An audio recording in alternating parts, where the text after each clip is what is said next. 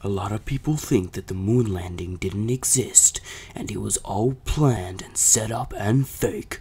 Well, I can tell you now that you're 100% right.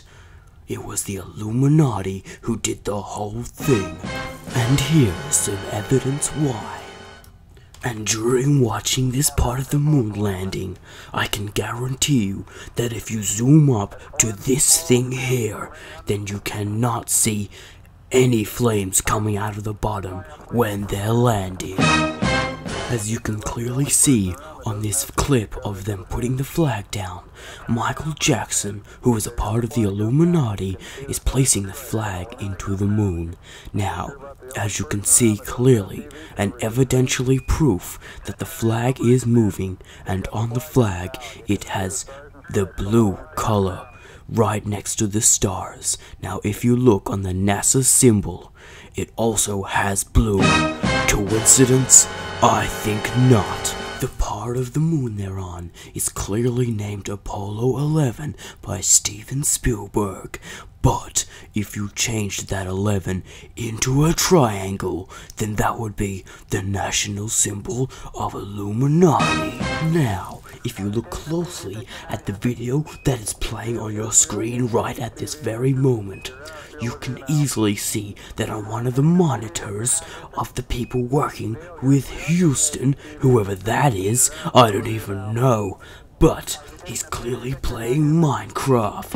Now, if he wasn't, then he wouldn't be a part of the Illuminati.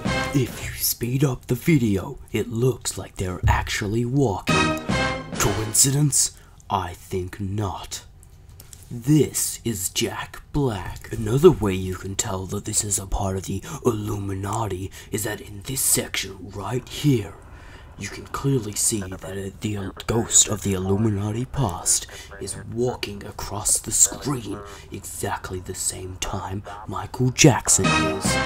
Before we move on to the next subject, I would like to point out this. As you can see in the background, everything is black when clearly, when you look up at the sky, it's blue. I know what you want, some actual hard evidence that this makes sense.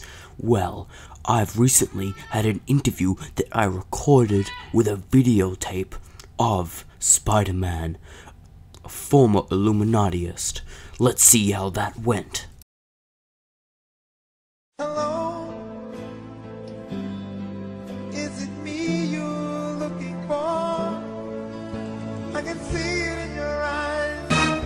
recently saw the movie Gravity. Now, I know there's more actors to add to the Illuminati list. Well, there you go, folks. That's your hard evidence that the Illuminati did the fake moon thing. See you next time on Illuminati Does It Real Again.